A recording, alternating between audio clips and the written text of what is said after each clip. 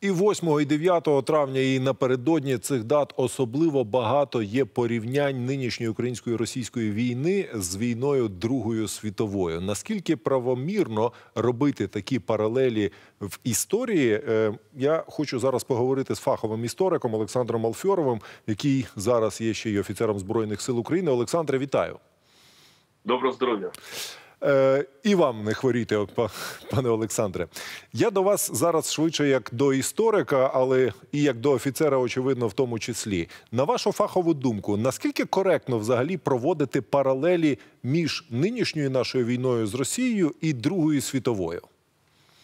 Ну справді дійсно ці паралелі часто, скажімо так, проговорюють в медіа, але на мою думку. Говорити про те, що гітлерівська Німеччина є абсолютно втіленням сьогоднішньої путінської Росії, не приходиться. Ми маємо розуміти, що тут різні ідеології. Якщо, наприклад, німецька соціал-націоналізм прийшов е, під, скажімо так, поглядами соціалістичними, але на підґрунті е, видатної німецької філософії, і разом із тим мав інші економічні підґрунтя, то путінська Росія це ідеологія рашизму, яка базується на конкретно продовженні комуністичної ідеї, яка розвивалася протягом 80 років. Ну і плюс оцей 30-річний шовіністичний період від 91-го року, коли вони все ж таки змогли викристалізувати ідею об'єднання е, перемоги, об'єднання з церквою. Об'єднання з тоталітарною системою, що призвело до того такого явища, як рашизм, який зовсім інший ніж націонал-соціалізм німецької держави періоду Адольфа Гітлера. Ну але дивіться, якраз. Е... Противники цього кажуть, що рашизм дорівнює нацизму, тому що базується на ідеї не скільки необільшовицькій, скільки ідеї вищості Росії і руского міра.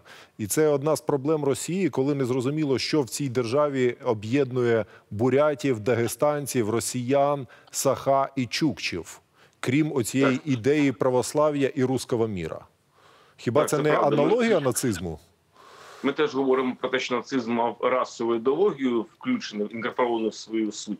Але подивіться, ідеологія расова. Але, наприклад, ми говоримо, якщо про Німеччину, то це європейської раси, так вищість німецької раси. А от в контексті росіян ми говоримо про шовінізм великоросійський, який власне е, вже почав викристалізовуватися в 19 сторіччі, і сьогодні ми говоримо про те, що вони вже не ділять там на півраси, там на е, люди слов'янської зовнішності. Вони сьогодні говорять про те, що переміг русський солдат, і вони ставлять російську вже націю по суті створену не просто з русських, так а з інших частинок Російської Федерації створюють нову політичну націю, яка бере і бурятів, які теж є тепер русським солдатом, дагестанців, чеченських е, людей. І сьогодні ми говоримо про те, що насправді ця ідеологія має верхність виключно вертикалі, верхівки правління. Адже сьогодні ми говоримо про тоталітарну систему Російської Федерації, і саме вона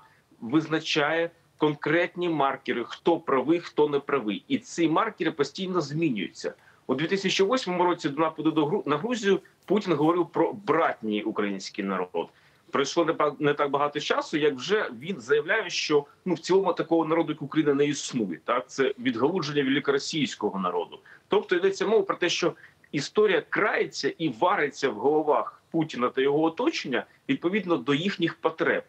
І водночас, коли ми говоримо, наприклад, про Німеччину, то ми маємо розуміти, що війна Друга світова у них асоціювалася з величчю німецької нації, але разом із тим вони допускали, що, наприклад, другим їхнім е, власне союзником буде Совєтська Росія, і ми не маємо забувати того, що з 39 по 41 рік, коли Польща е, на Польщу напала Німеччина, на Польщу напав і Совєтський Союз. Тоді напад був на Фінляндію Совєтським Союзом в 39-му році. Ну і Олександре, я розумію ці аналогії, але є ще одна лінія: е, це бажання життєвого простору. Те, що в Німеччині було життєвий простір у Росії це повернення так званих історичних територій, які вони мислять в радян... в межах радянського союзу. Хіба це теж не причина для аналогій? Тут можна проводити звісно аналогії, але ми маємо розуміти, що Німеччина під життєвим простором розуміла ті колонії, які у неї забрали в результаті Першої світової війни. Так і це це ми говоримо про сировинні додатки. Російська ж Федерація сьогодні говорить про те, що її життєвий простір він базується на відведенні військ НАТО з країн, які їм не належать. Вони говорять про життєвий простір в контексті того, що є російська культура вел- великодержавна, яку атакують. Тобто німці не говорили, що, наприклад, французи притісняють німецьку мову, чи е, вони не вживали це по відношенню до поляків чи чехословаків, так чи Австрії. Сьогодні ж Росій, Російська Федерація веде наступ за, начебто, пам'ять про дідів. Так, чого не робили німці, і Російська Федерація сьогодні говорить про те, що її притискають питання культури, політика мови. Зрозуміло, це, до речі, хороше визначення різниці. Німці воювали за умовне майбутнє, а росіяни воюють за своє умовне минуле. Дякую за ці пояснення, е, пане Олександре, і за те, що знайшли час для нас. Олександр Алфьоров, історик і офіцер збройних сил України, був з нами в ефірі, який триває.